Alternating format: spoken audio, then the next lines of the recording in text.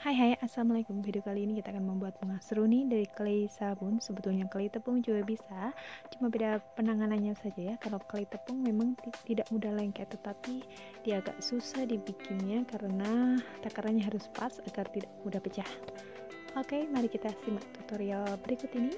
Yang kamu butuhkan adalah tangkai entah itu dari bambu kawat bisa ya clay sabun flower tip lalu cetakan seperti ini ya kamu bisa membelinya di marketplace. Ini adalah cetakan fondant atau kue clay juga bisa ya. Atau kamu bisa juga nitip di saya. Oke sebelumnya kamu harus mengoleskan tangan kamu dan alas menggunakan baby oil ya. Cutter glider kita gunakan di sini ya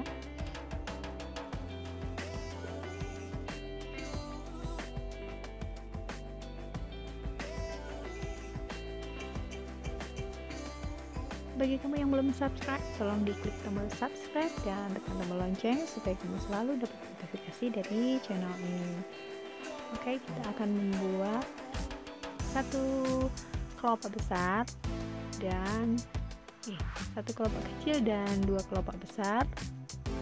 Kita menggunakan dua cetakan ya, cuma dua, yang besar dan yang sedang. Tapi itu terserah ya, tuh yang uh, mau membuat bunga yang lebih besar atau yang lebih kecil itu terserah seperti ini ya kita akan membuat putiknya kita buat lingkaran lalu kita masukkan dan kita membuat motifnya seperti ini.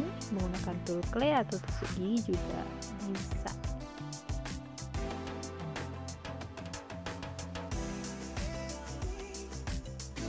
Kita membutuhkan lem kayu ya untuk membantu menempelkan tiap kelopak pertama-tama yang kita pasang adalah yang kecil dulu tentunya ya.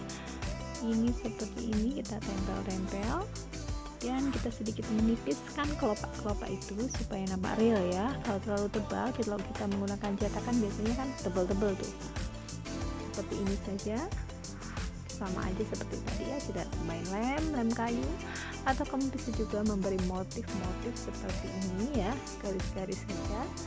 Mungkin biar tampak seperti bunga seruni ya kita memasangnya saling silang ya. Jadi tidak tidak menumpuk persis tetapi saling silang. Kelopak sebelumnya dan kelopak sesudahnya. Ini adalah kelopak dasar ya. Kita bisa memberi sedikit lancip-lancip untuk perbedaan aja ya.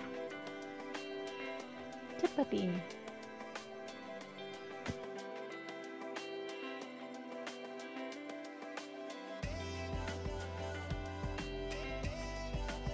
di sini kita tinggal merapikannya. Mungkin karena kita tergencet-gencet tadi ya. Kita kembali memberinya motif titik-titik dan kita akan membuat tangganya. Bagi kamu yang belum subscribe tolong di subscribe dulu ya. Video mudah. Thank you banget. Dan jangan lupa menekan tombol lonceng agar kamu selalu mendapatkan notifikasi dari channel ini. Untuk tutorial kuncup sama saja dengan tutorial di video saya sebelumnya ya yaitu berjudul tutorial bunga krisantium nanti saya tulis atau saya cantumkan di deskripsi ya. Ini di samping untuk menguatkan ini juga untuk membuat motif agar nampak tangkainya lebih real.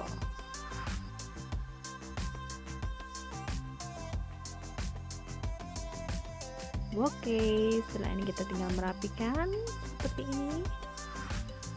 Kita naik-naikkan, tidak usah terlalu rapi ya, biar nampak seperti bunga asli saja. Dan tinggal kita kasih flower tip.